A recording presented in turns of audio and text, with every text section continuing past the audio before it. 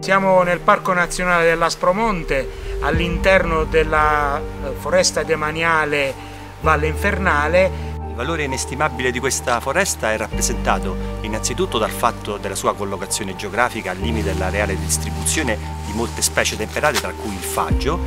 e questo permetterà al sito seriale UNESCO, questo patrimonio dell'umanità riconosciuto nell'ambito del criterio 9, di esprimere la conservazione su tutti gli spazi ecologici, compreso quello dell'area mediterranea. In questo momento dei cambiamenti climatici si tratta di un processo molto importante perché qui noi potremo osservare la capacità che ha la foresta vetusta di mitigare il cambiamento climatico, ossia di rendere il riscaldamento meno importante dal punto di vista degli impatti ambientali e conservare allo stesso tempo una biodiversità unica come si può vedere in questo ambiente.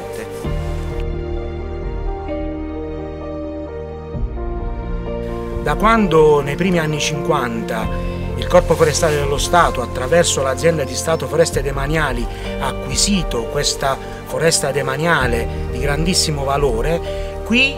la, la, la natura è sempre stata protetta e oggi attraverso il raggruppamento Carabinieri per la biodiversità continuiamo questa intensa attività di protezione, di conservazione e di gestione di questo patrimonio che non è soltanto un patrimonio italiano, è un patrimonio europeo ma è un patrimonio di tutta l'umanità.